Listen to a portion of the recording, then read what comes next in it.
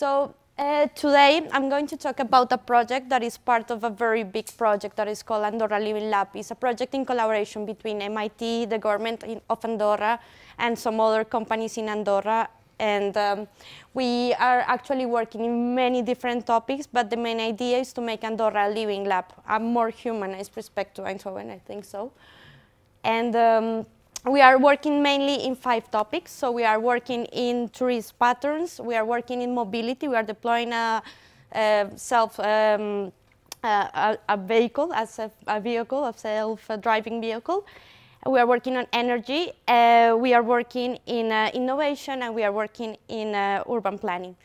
So what, what I'm going to talk about today is about energy and uh, what happens when you mix sensors with um, elementary school. So uh, this project take that question actually, and the, the answer is we have Thermite for electronautas. This is a project that is also, as we like to do, is a very big collaboration between many different institutions.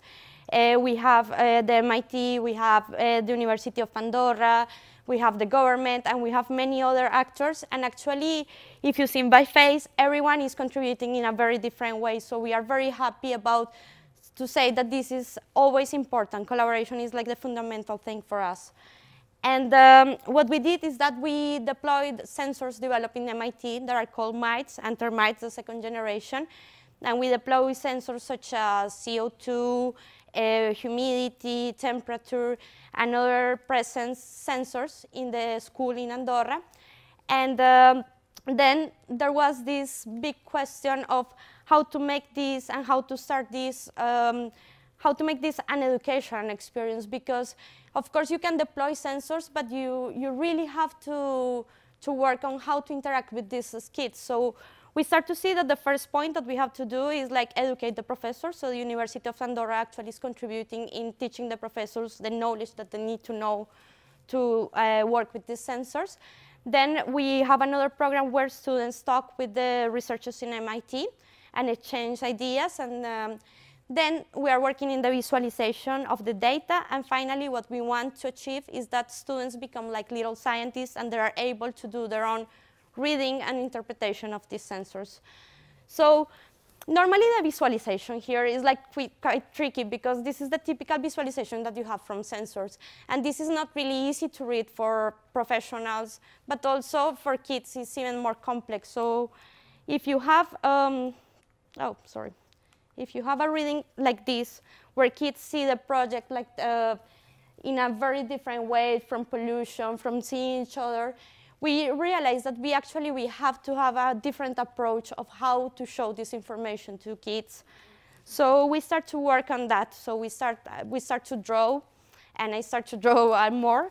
So how to convert this information in something that they will be interesting. So what we thought is that the first thing is how they perceive their own environment, independent from the sensors. So what, what they do normally is that they know if they are happy, if they are sad, if they are tired, if they are, they have, they are cold or they're okay in the place.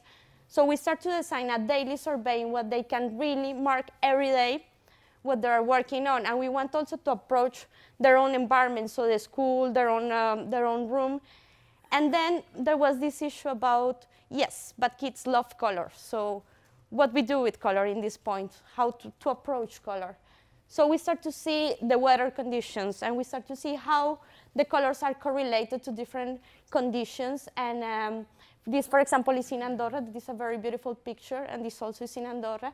And we start to take these colors and what we did at the end is we designed an experience that they just can see every day a different icon with a different color depending on what is happening. And they have like a surprise effects like the windy day in which they are going to see that things are happening differently.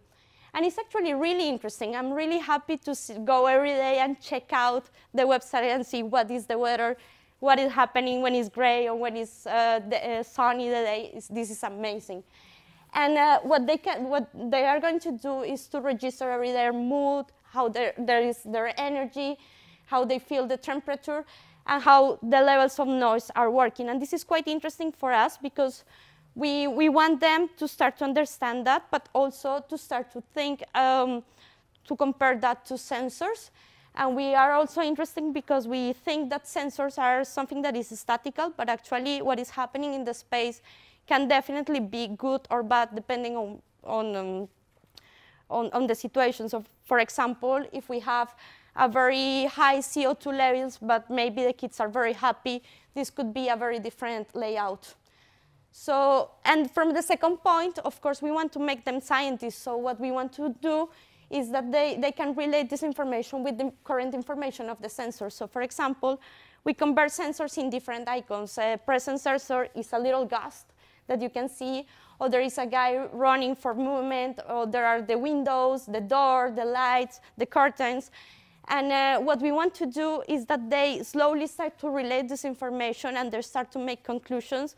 And slowly they start to understand what these parameters are and why they can be important in their own everyday life. So we are going to do the first test in two weeks. I'm very excited about that with the kids. And uh, I will be happy to just, uh, uh, if you can keep update about this, it's very, very nice because it's a huge challenge to mix technology, education, and sustainability. Yeah.